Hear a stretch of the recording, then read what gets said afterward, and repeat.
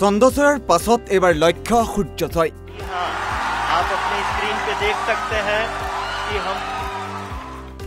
এইবাৰ সূৰ্যৰ বুকুত চলিব অভিযান।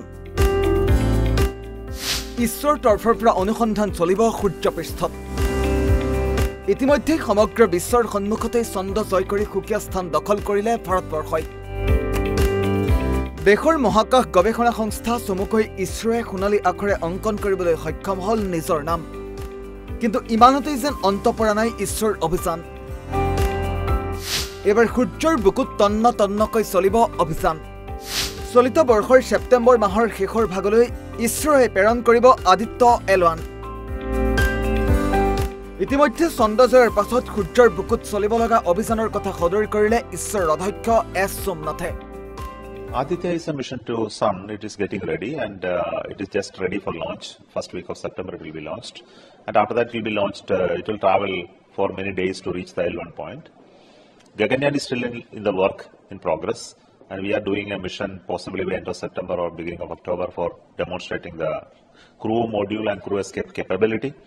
And which will be followed by further missions of unmanned missions next year beginning. And many more test test missions and test uh, ground test, hundreds of them, until we do the first manned mission, possibly by 25. কেৱল ইমানেই নহয় মঙল গ্ৰহ আৰু শুক্ৰ গ্ৰহতো অভিযান চলাৰ কথা সদৰি কৰিলে ঈশ্বৰ বিজ্ঞানীয়ে আৰু এই খবৰৰ পাছতে এতিয়া দেশৰ বিভিন্ন প্ৰান্তত ব্যাপক উৎসুকতা সূৰ্যৰ বুকুত কি কি বিষয়ত অভিযান চলিব তাক লৈও কৌতূহলৰ সৃষ্টি হৈছে দেশবাসীৰ মাজত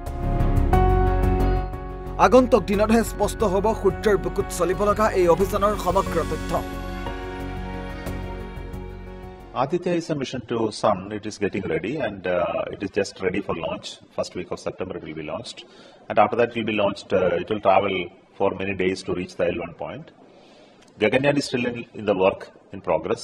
And we are doing a mission possibly by end of September or beginning of October for demonstrating the crew module and crew escape capability and which will be followed by further missions of unmanned missions next year beginning and many more test, test missions and test uh, ground test hundreds of them until we do the first manned mission possibly by 25 national dex report ahom Life 24